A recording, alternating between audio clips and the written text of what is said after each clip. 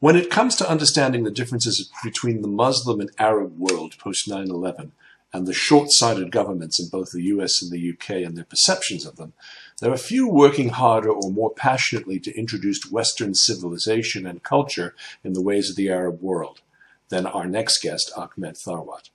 As I travel through the US and arrive at a port of entry like Washington Dulles or JFK, I'm angered to see so many men of Middle Eastern descent redlined and pulled from the queue.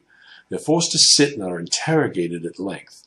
Many then miss their connecting flights because of this treatment, yet the U.S. Republican led House does nothing to investigate white supremacist hate groups or militias arming themselves to the teeth in the wake of President Obama's new gun proposals.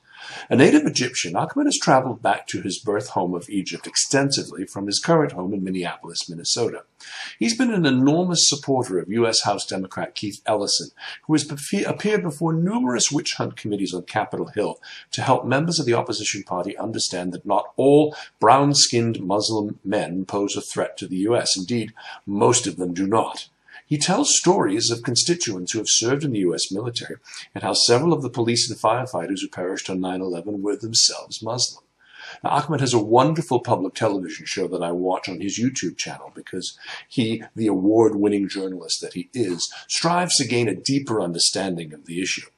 Now, this Friday is the second anniversary of the hashtag Jan25, January 25th. That's the day that started the flame that burned across Egypt for 18 riveting days and ended with the resignation of Hosni Mubarak on the 11th of February. As the anniversary of the revolution approached and all of the things that have happened in terms of a new parliament being formed, the uh, rise of President Morsi through the election, the trial of Hosni Mubarak, now soon to be a retrial, I wanted to speak with Ahmed about where Egypt is today. Is the retrial of Mubarak considered good news or bad? How will women fare, fare, fare in the long run there in Egypt? And what does he see for the coming year and indeed years? It's all coming up in a lengthy but fascinating interview. Keep it right here on Worldview with Denis Campbell.